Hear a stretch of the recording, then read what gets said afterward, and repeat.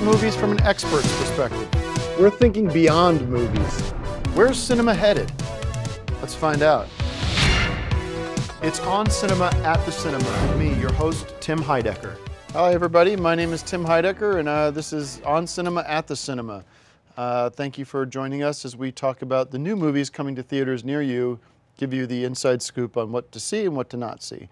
Um, all right. Uh, I'm with uh, my guest is Gregg Turkington. Co-host Gregg Turkington. Hey guys, Co-host Uh, Gregg Turkington. Good to see you and good to be back on uh, yet another exciting episode of movie expertise provided the way you like it. Honestly, Yes, and uh, let's just get a lot of news coming, a lot of news happening uh, with the show. Last week was a big success. We were back, and we Ratings we- are up. We proved that this show was sort of essential, I think, to uh, to the public, and and has the potential to be something really powerful and really strong. which it has been, but it's just getting better. And well, you can take over if you want to explain what's going on. I'll just Well, this is strange. I got a call. Uh, you know about it, but I got a call out of the blue uh, after the last episode from uh, Mark Dwyer, your old attorney, um, and he wanted to uh, talk to me about kind of an interesting proposal. He put me on speakerphone with Bruce Delgado, and the two of them said that the Delgados want this show to continue. They see it as a possible revenue earning stream, stream for them. They've set up a company called uh, Delgado Media Holdings, uh, DMH, and uh, they needed somebody to kind of supervise and produce the show and make sure that uh, the quality is still which there. is something that- I've been doing, by the way, with the show for Right, but they have some they have now, some so- issues with you, so Well, okay. you know because of what happened. I mean, uh, okay. it's like. well, Uh, they feel yeah, no, that I you're know, I know, responsible no, for I- their son's death, so Okay. they, they, you know, Ah, just, I mean, I can't do any. I can't say anything right here, and I, I'm not allowed to. So go ahead. Um, Well, I think the offer that they made to me is very generous as far as you're concerned, which is that they are going to let you keep doing the show with me. We're going to do it business as usual. Mm-hmm. Um, they're going to give me a little bit more control in terms of how many movies get reviewed, how many popcorn classics, that sort of thing. And they don't want to hear uh, a lot of negativity about Mm-hmm. uh, them or their son, Mm. who, as I say, they feel that you were responsible for his death. So Yep, I yep. so I think this is a good opportunity to kind of reboot this this series Mm-hmm. and make it more movie centric, which Delgado's aside is what I think this show has needed for a long, long time. And I think that the ratings and the uh, audience approval will reflect that in a hurry. And so, okay. Well, that's, That's- enough on that. okay, well, That's the it's story. gonna, it's it's it's win-win for everybody. sure. And Win-win for everybody. Okay. well, I'm not. Um, I'm not. Hey, I, I, did I say, oh, you're no longer the host? I no, you've made like me that. a generous offer, and I appreciate Mm-hmm. it. Thank you very much. and you'll be doing just what you always do, and you've always been great at it. It's just that we'll have less of some of the extraneous topics and Well, the we'll go where the show goes. you know, the- that's phony. I think- uh, but I think you should be clear about something. Vitamin junk. well, that sponsorship has, is not happening anymore. Well, yeah, we you- should be clear about you something very though. sick from that We stuff. are going to go where the show goes. right. Well, the show's going to go to three new movie reviews Okay. each week, two popcorn classics. One of the big changes that I proposed to Bruce Delgado, um, and again, he said, "I don't need, I don't, you don't need my approval for this stuff. You've been on this show for years. You know how it best works." I said, "I think what we should do is have two popcorn classics per episode. I do one, and Tim does one. That's what we're And- doing. And you know, he said, "I don't know anything about that, but if that's what you want, that sounds good to me." So that's what we're going to do. Very good. So that's the news. Gregg's in charge. The man, what are you, the managing director of Delgado uh, Media Holding Company? That's right.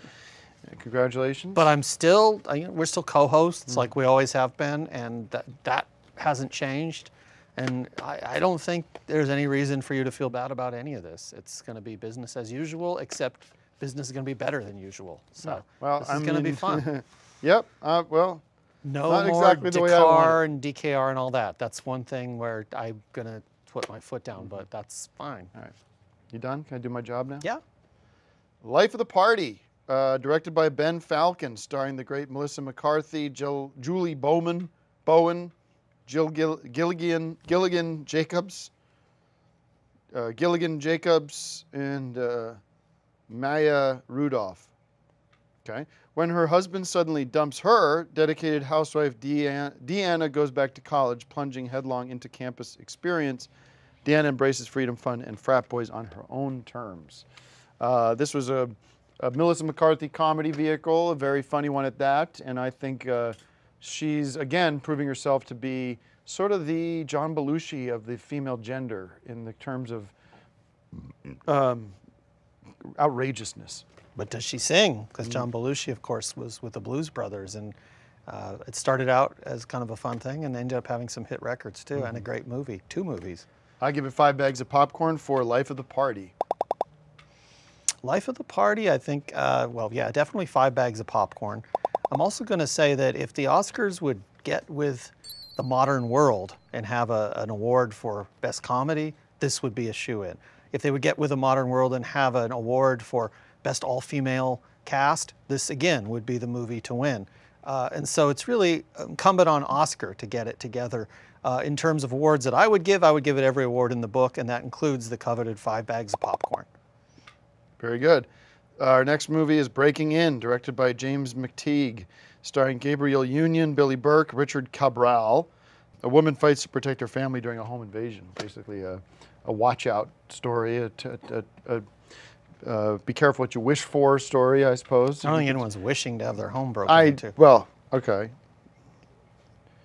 Yeah. Any thoughts on this? When I first saw the title, I said, "Oh, good! Finally, a, a sequel to Breaking Away, which you might remember from 1979, I think." Uh, but it's it's nothing like that. That was a film about a bicyclist, essentially, a, a teenage bicyclist, and this is kind of a horror film about uh, a home invasion, and uh, it's it's really quite unpleasant at times. But uh, that's kind of what going to the movies is all about: is experiencing different types of things, and some of them can't be fun. That's no reason to dock the score, though, because it's a very well-made movie, and I will give it five bags of popcorn. All right. Thanks again for watching, and uh, we'll be back Let's next do the popcorn classics.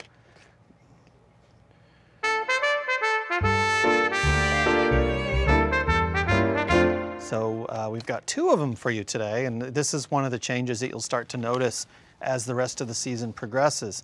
Uh, Popcorn Classics, I think, has been of all the cards and letters that I get, and I get a lot of them. This is the, the issue that people seem to agree on the most: is we need more Popcorn Classics, not less. Okay, well, I'll go first. Um, this is Popcorn Classic uh, Mystery Men. Mystery Men. And uh, that's uh, basically a spoof of, of uh, superhero movies with Hank Azaria and Ben Stiller and, uh, and PG-13. So it had a little bit of risky, a little bit of cursing in it. It was kind of cool. What's the running time? 105, looks like 105 minutes. An hour, hour 45. So it's a good, good length movie. Yep. And uh, what's yours? Uh, I've got an Eye for an Eye, directed by John Schlesinger, who, of course, you know from Midnight Cowboy, which we've discussed many times on this show. Uh, it stars Sally Field, who's got a couple Oscars in her closet, and uh, Kiefer Sutherland, son of Donald Sutherland. So this is a thriller about the search for justice in an unjust world. Thank you it's very much. 100 and